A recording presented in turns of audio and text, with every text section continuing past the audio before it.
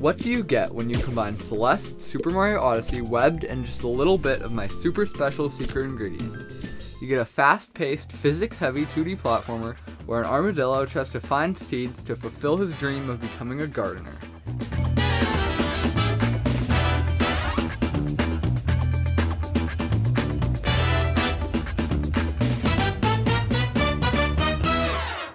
Hey everyone, welcome to my first devlog of my newest project, an unnamed 2D armadillo platformer game.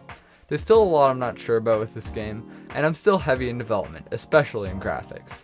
But I thought now is as good a time as any to get started and begin creating devlogs. For this first devlog, I just wanted to take a look at everything I've created so far and introduce the game. I bet you're wondering what happens in the game. Well, in this game, you play as an armadillo with a simple but diverse ability, rolling. When you press the roll button, you'll be able to boost with loads of momentum in the direction you choose and curl up into an aerodynamic ball. You can keep that momentum by going down hills and gaining speed. While rolling, you still have the ability to jump, so this gives you some control to get over obstacles without losing momentum. If you decide to need more subtle adjustments, you can deactivate the roll and move freely with platforming controls. The roll is a very simple move, but it is difficult to fully master, so I think it'll provide a good ebb and flow to the movement of the game. But what is movement without some juicy mechanics to interact with? So I've been creating many different types of things for the player to enjoy. These mechanics range from cannons that shoot physics affected objects, anti-gravity water that allows swimming and rolling quickly in any direction, or even magic crystals that shoot at you. Even with all these mechanics, the game won't have any real combat, as I don't feel it fits the mood I'm trying to create with the game, and platform will be enough to hold the game together on its own. The main goal of this game will be to collect as many seeds as possible, however not all seeds will be required to progress to the next section of the game.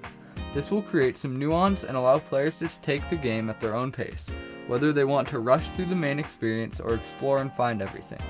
Because of these seed collecting mechanics, I didn't think a simple level format would fit, so I decided to create a bit of a collectathon type of gameplay mixed with basic platforming levels.